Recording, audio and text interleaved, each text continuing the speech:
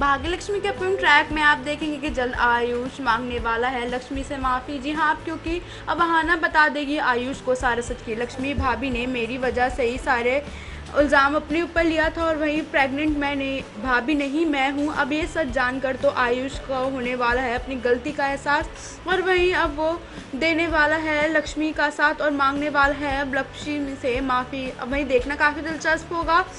आयुष बता देगा, ऋषि को सारा सच और कर देगा दोनों को फिर से एक। देखना काफ़ी इंटरेस्टिंग होगा कि क्या होगा आगे वाली कहानी में। हम तो काफ़ी ज़्यादा एक्साइटेड हैं इस एपिसोड को देखने के लिए। आप कितने एक्साइटेड हैं? कमेंट करके ज़रूर बताएँ